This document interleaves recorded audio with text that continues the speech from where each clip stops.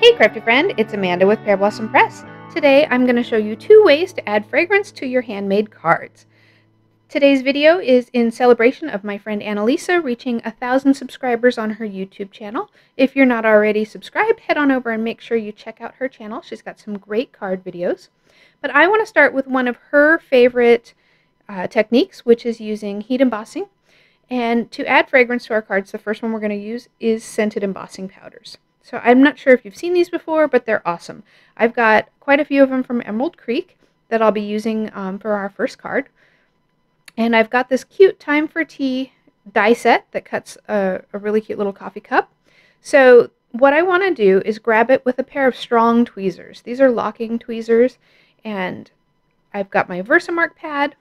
I'll just go ahead and dip my uh, the whipped cream portion here into the Versamark, get it coated, and then I can sprinkle the first powder on top.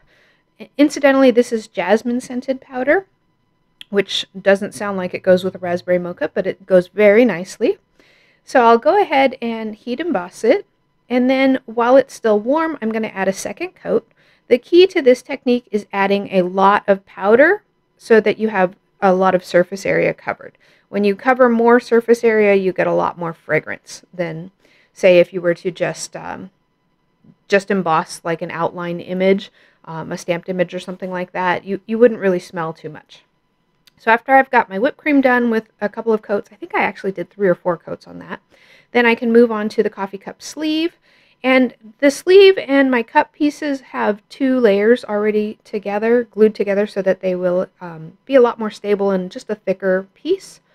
And my powder this time is chocolate and java mixed together. I actually had some left over from a previous project where I had mixed them together and they give you a really nice speckled finish and you get a really good fragrance.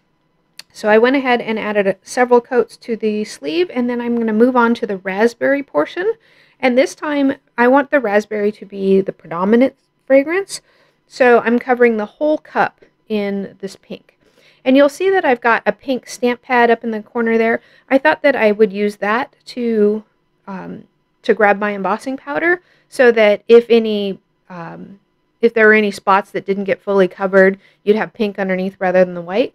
But it turns out that the Versamark grabs the powder better and the after two or three coats, you've got a really opaque coverage anyhow.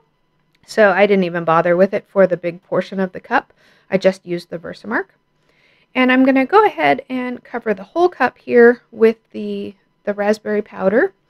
And notice that there's a little section there where it's not completely covered. That's where my tweezers were. It's not a big deal because I'm going to cover that with the sleeve anyhow. If I weren't, I would just move the tweezers around and not heat the part underneath it as I move it around. Um, but again, I didn't need to worry about it here. And then you see I've got one other little piece of the lip of the cup I just wanted a second one so that I can put it on the back of the cup. That will give me something to sandwich my whipped cream together with. And I'm using Gina K Connect glue for this. This is a good strong adhesive that adheres to plastic. So because the embossing powder is, it's basically a coat of plastic on top of your paper, you do need to use an adhesive that will work with that. And the Gina K Connect is great. It does take a little bit longer to dry, so once this is all assembled, I will put something heavy on it and leave it to dry for a couple minutes.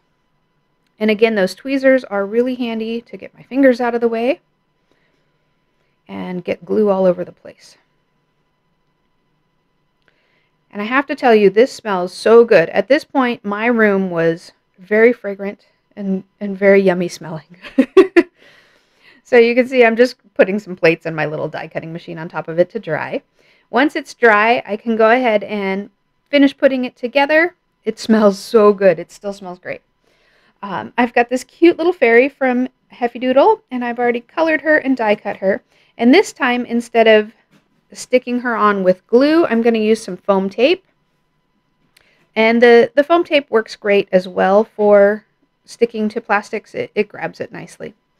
So I've gone ahead and assembled my cup, and then I'll show you the finished card here. I just added a cute little sentiment. Let's do virtual coffee sometime. That's another Heffy Doodle set. And then I've got some brown splatters in the background and a couple of brown gems. and I, I just keep smelling it. It smells so good. So you can see some closer photos here. I think this is a, a really fun technique. Now let's talk about our second technique. You don't have to have scented embossing powders. You can use perfumes or essential oils, that kind of stuff, if you already have something that smells great. And this technique is perfect for finished cards. You can do this with cards you've already done. Um, and again, I've made a card here where I wouldn't really be able to put a lot of embossing powder down, maybe in the background, but I wouldn't be able to do a whole lot and have it come through because there's a lot of colored images there. So I used um, a combination of Time for Tea and Heffy Doodle products to make this cute little card. And then I'm going to fragrance it with perfume. So I've got a cotton ball, a Ziploc bag, and my finished card. And that's all you need. You put two to three squirts of your perfume or your essential oil, a couple drops of essential oil onto the cotton ball. And then you're going to put your card inside the bag.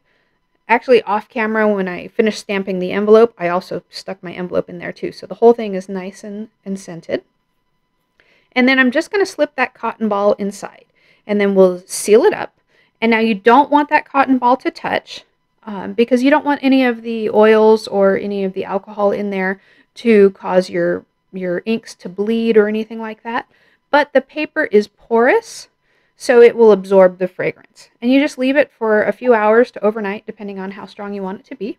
But I thought that was really cute with that sentiment. You are so stinking sweet. Doesn't it? Doesn't it need to be scented? I think it's really cute. Let me know which is your favorite technique. And if you give it a try, definitely tag me on Instagram so I can see.